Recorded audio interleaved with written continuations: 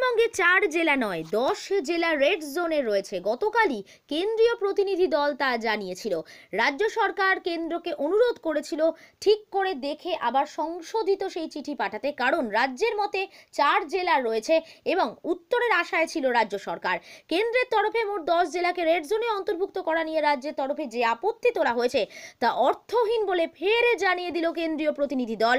আজ শিলিগুড়ির কাছে ফুলবাড়িতে ভারত বাংলাদেশ সীমান্ত পরিদর্শনে গিয়ে প্রতিনিধি দলের সদস্য অশোক গাবাই বলেন, একাধিক বিষয় দেখেই এই রেড জোনের তালিকা প্রকাশ করা হয়েছে। তালিকা সম্পূর্ণ ঠিক, কোথাও কোনো ভুল ভ্রান্তি নেই।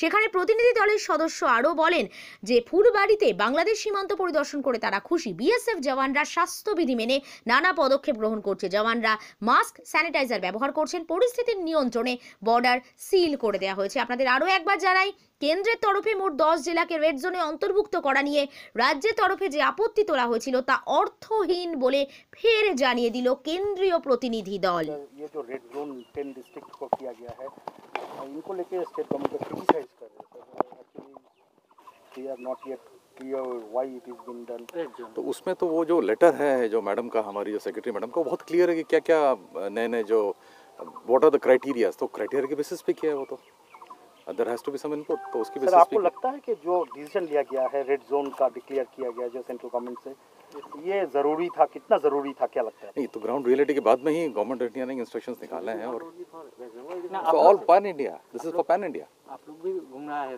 दार्जिलिंग कालिम्पोंग जलपाईगुड़ी डिफरेंट डिस्ट्रिक्ट आप लोग ऑलरेडी घूम रहा है। तो क्या आप, क्या लगता है जो आफ्टर रेड जोन डिक्लेयर अभी ठीक है सब? सिचुएशन में कुछ चेंज आ देखिए हम तो अभी हमारा विज़िट चल ही रहा है। तो we will give a report लेकिन ये है कि गवर्नमेंट ऑफ़ इंडिया ने जब निकाला है एक letter it's on the basis of some inputs definitely thank you